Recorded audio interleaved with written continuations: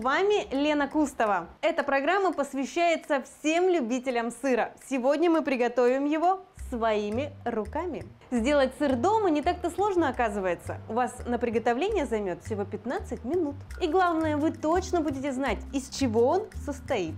А сейчас еще узнаете и чем он полезен. Первое. 150 граммов сыра в день рекомендуют съедать беременным, чтобы восполнить потребность в минеральных солях. Второе. Сыр полезен и спортсменам. В нем содержатся полезные жиры, которые восполняют потраченную энергию. Третье. Сыр нужен всем. Он пополнит наш организм витаминами А и В.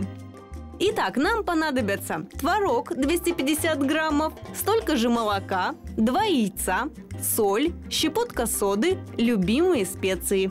Таким сыром смогут побаловать себя даже те, кто на диете. Берите творог и молоко меньшей жирности. В кипящее молоко добавляем творог. Варим, помешивая 3-4 минуты. Когда сыворотка отделилась, выкладываем на друшлаг, чтобы избавиться от лишней жидкости. В дело пойдут только белые хлопья.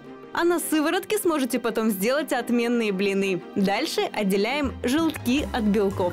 Следующий шаг молодого сыровара – перекладываем наши творожные хлопья в сотейник. Добавляем все остальные ингредиенты. Это соль, щепотка соды, а у нас идут еще два желтка и любимые специи.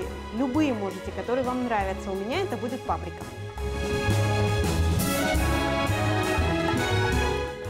Перемешали и ставим на плиту. Убавляем огонь. Нам нужно ниже среднего. Так, у меня это двоечка. И обязательно перемешиваем, чтобы у нас ничего не пригорело. Нам нужно, чтобы получилась тягучая масса. Наполняем форму. Вот, видите, какой комок?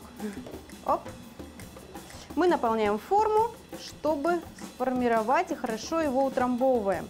Формироваться он у нас будет в холодильнике. Он остынет и станет твердым. Где-то 2 часа ему потребуется.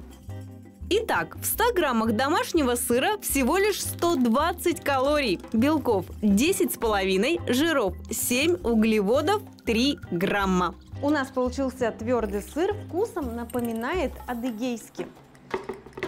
Хранится он в холодильнике не дольше недели. Не пожалеете времени, приготовьте для своих близких, вы их точно удивите. Приятного аппетита!